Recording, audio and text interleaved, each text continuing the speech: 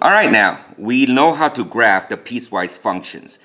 We know how to graph these three separate functions that is discontinuous. It's not a continuous function. It's a step function.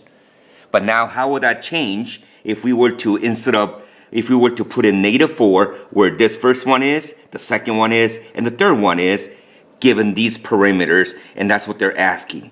So here's how you do it, okay? Here's A, f of negative 4 for the first one is equal to 5. That doesn't change anything. It's just that. However, f of negative 4, that goes into 1 half x, so negative 4 goes in here. So half of negative 4 is negative 2. So therefore that's going to become negative 8. And that's all you do. You just need to plug it in.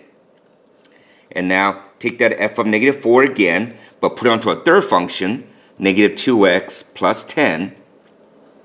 And now, where the x is, we put negative 4, right? So negative 2 and negative 4 is positive 8.